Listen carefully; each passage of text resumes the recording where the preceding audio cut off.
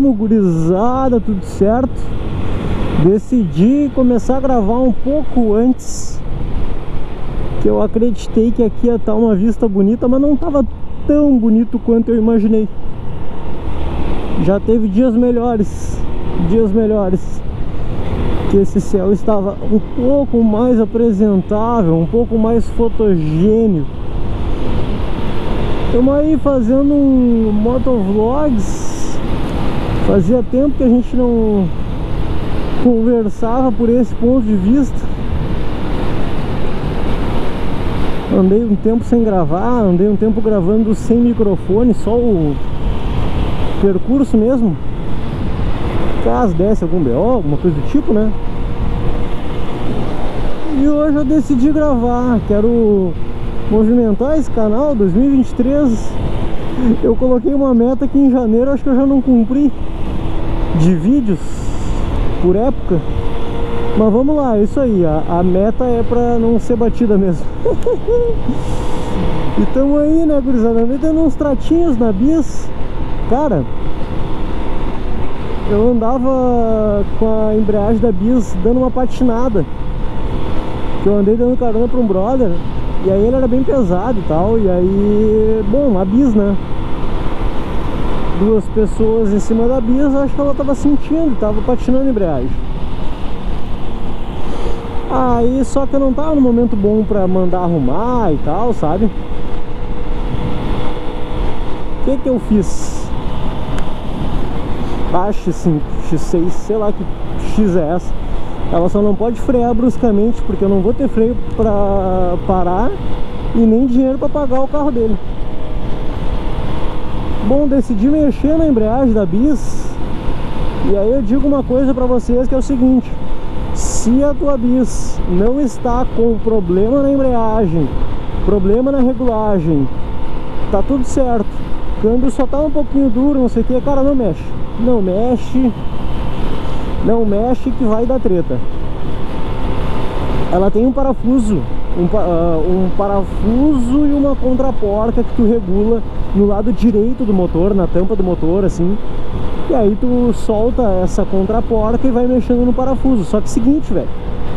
O negócio é o seguinte. A embreagem da Bis, ela funciona com algumas regulagens, que é o seguinte.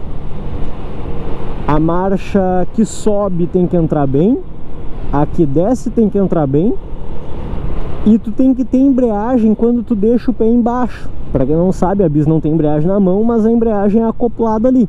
Basicamente, quando tu desce o pé para botar a marcha, tu tá pisando na embreagem também. Tu tá pisando na embreagem e botando a marcha ao mesmo tempo. Olha que lixo! Essa trincheira voltou a escorrer água. E aí, cara, eu fui mexer porque eu pensei, pô, pode ser só regulagem, né? Pode ter dado uma gastada na embreagem mesmo. Agora dou uma regulada e aí talvez eu deixe ela enforcada até eu conseguir parar para mexer, sabe? Meu amigo, vocês não estão entendendo que mão que é isso, velho. Mano, o bagulho é o seguinte. Ah, eu nunca sei se não vai ter um... Vou ir por aqui. Porque, né? Cara, o bagulho é o seguinte, meu. Fiz uma primeira regulagem a primeira vez, já deu um trabalho desgraçado. E não ficou bom, porque eu não conseguia reduzir a marcha. Quando eu baixava a marcha, era como se eu não estivesse é, pisando na embreagem. Eu só conseguia baixar a marcha dando aquela aquele fazendo punta-taco, tá ligado? Fazendo aquela aquela apunhetada na dando uma bombada no acelerador antes de botar a marcha. Aí, bah, velho, era ruim, sabe? Tu, quando ia reduzir, pô, claramente tu tava forçando o câmbio da moto, né? E aí... E aí, tipo, bah, isso tava me incomodando. E eu já tinha ficado, cara, sei lá, acho que uma hora. Não, é, uma hora mais ou menos tentando arrumar o câmbio e ficou desse jeito. Porque antes estava patinando, né? Lembrando, início de tudo, estava patinando a embreagem. Aí eu fui mexer, parou de patinar, eu vi que parou mesmo de patinar. Ah, tem isso também, né? Dentre as regulagens, ela ela pode a marcha não passar ou ela passar, mas patinar. E aí isso significa que tá fora de regulagem. Ou a embreagem foi pro pau mesmo, né? Mas o cara tem que medir, era isso que eu tava tentando fazer. Então, eu parei e pensei, não. Agora ela, ela parou de patinar. Então tem, tem regulagem. Eu só tenho que achar agora a regulagem certa para trocar sem patinar e conseguir reduzir ao mesmo tempo, beleza. Cara, eu gastei horas num domingo tentando regular. Aí eu arrumei o farol que tava quebrado os encaixes, tava tudo bagaceiro, preso com fita e o caramba. Arrumei, fiz um suportezinho, colei, tá tudo certo. Arrumei a posição do espelho que também tava tudo cagado.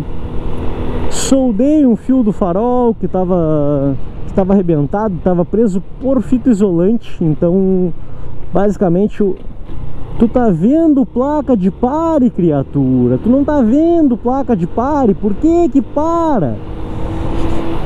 E aí fiz isso e aí por último deixei para mexer na embreagem. Cara, vocês não estão ligados. Foram horas, horas tentando horas tentando regular a embreagem da moto e aí ficava nisso ou não reduzia ou ou a marcha não reduzia ou quando reduzia não entrava outra. E meu foi. E tipo assim sempre ficava no meio de uma das regulagens que eu precisava. Até que em determinado momento eu consegui arrumar consegui deixar tudo que eu tava mexendo certinho tudo certinho. Tanto que agora a bendita está com a, a, a, a embreagem regulada embreagem regulada farolzinho no lugar. Não está regulado mas tá no lugar.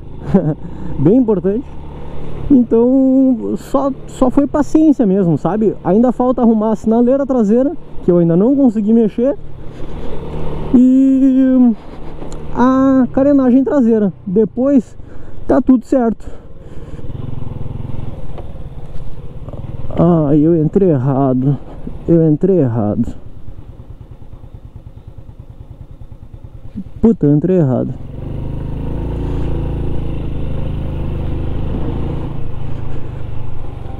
Mas aos pouquinhos eu consegui ir dando um trato na bichinha, deixando ela do jeito que ela merece. Mas é isso, tem que ter paciência. Moto velha, moto antiga, cara. Tu compra o negócio sabendo que tu vai ter trabalho. Mas então é isso, rapaziada. Valeu e até a próxima, é nóis.